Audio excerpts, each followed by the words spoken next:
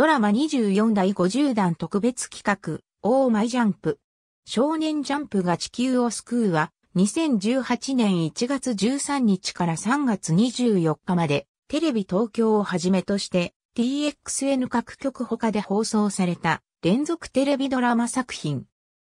2018年、日本の少年漫画雑誌において、数々のヒット作を生み出した週刊少年ジャンプが創刊50周年を迎えたのと、テレビ東京の深夜帯で数々のヒット作を生み出した連続ドラマ枠、ドラマ24が同年1月期でちょうど50作品目を放送するのと、両方が偶然同時期に50という数に到達したことに関連づけて、少年ジャンプ自体を基盤に据えたコラボドラマが世に出ることとなった。このような経緯であることから、本作はジャンプ編集部が全面協力し、出演者が歴代作品のキャラクターに扮したコスプレをしたり、往年の名作や近年の傑作における作中のベストエピソードや制作時の秘話などを熱く語るなど、全編にわたってジャンプにまつわる物語が展開される。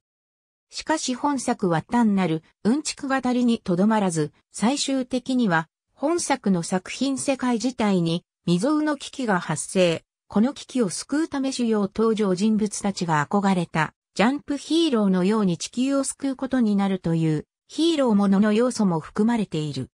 どこにでもいるような平凡でさえない普通のサラリーマン、ガッサンヒロシは今日もパワハラ上司から逃げるため外回りと称して公園でサボっている。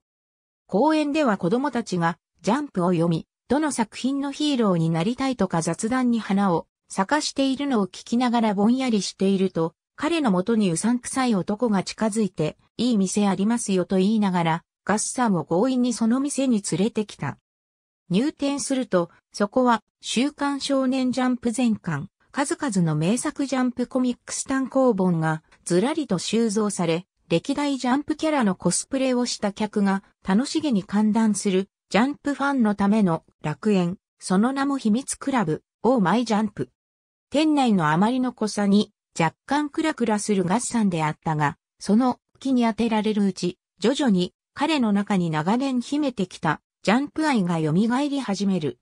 複数話に登場する場合は、演者名誉この括弧、内に表記。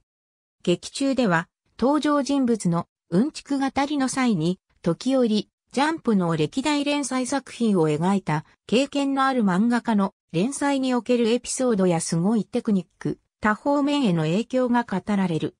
連載エピソードを語る場合は再現ドラマ風で描かれ、その漫画家を伊藤敦が演じる。以下は一つの話の中で語られるうち、代表的なもの。ありがとうございます。